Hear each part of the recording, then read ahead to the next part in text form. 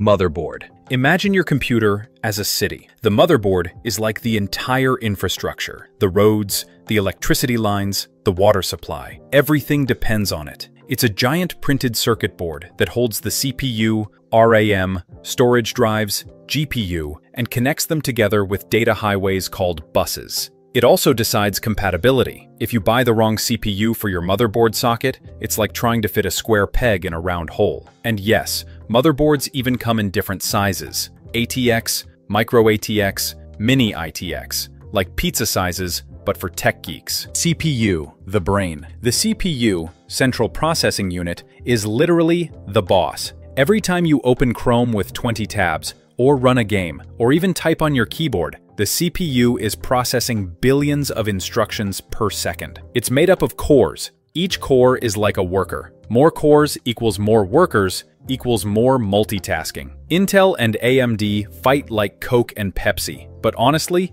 both are insanely powerful today. Fun fact, modern CPUs are so fast, they can complete billions of operations in less time than it takes you to blink. RAM, short-term memory. If the CPU is the brain, RAM is the brain's short-term memory. Imagine working on a math problem. You don't write every step down permanently. You keep some numbers in your head temporarily. That's RAM. The bigger your RAM, the more tasks you can juggle at once. That's why with 4 gigabytes RAM, opening Chrome, Photoshop, and a game together feels like torture. But with 16 gigabytes or 32 gigabytes, your PC runs like butter. Storage. HDD versus SSD. Storage is your computer's long-term memory, where all your files, games, and embarrassing old photos live. Hard disk drives. Spinning magnetic disks. Cheap, huge storage, but slow, like using a record player. SSDs, solid-state drives,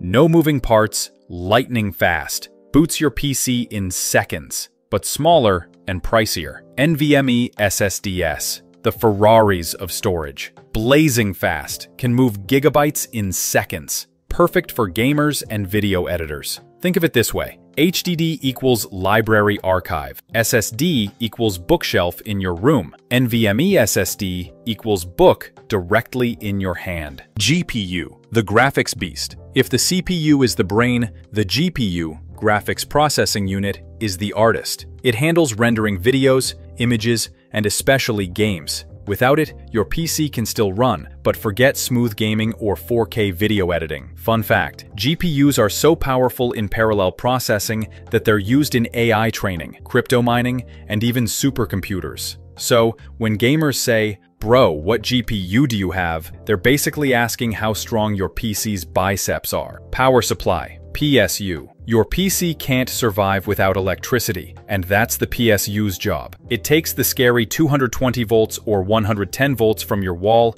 and safely converts it into the right amount your components can handle. A cheap PSU is like using a leaky charger. One wrong surge and boom, your PC's fried. Always invest in a good one. Cooling system. Computers get hot. CPUs and GPUs can literally cook an egg if not cooled. That's why you need cooling systems. From simple fans to fancy liquid cooling setups that look like a car radiator. Remember, a cooler PC equals faster performance equals longer lifespan. Heat is the silent killer of electronics. Case or chassis. The case is the body that holds everything together. It's not just for looks. It manages airflow, cable organization, and protection. Today, cases come with RGB lights so flashy they make your PC look like a nightclub. Other important components. BIOS or UEFI, tiny software that boots your PC before Windows starts. Network card, connects you to the internet. Without it, your PC is just an expensive calculator. Sound card, dedicated cards for audio files, but most motherboards already have decent sound built in. Expansion slots, PCIe, let you add upgrades like extra GPUs, Wi-Fi cards, or capture cards.